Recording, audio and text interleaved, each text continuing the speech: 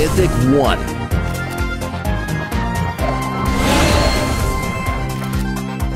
Now you see how it's done.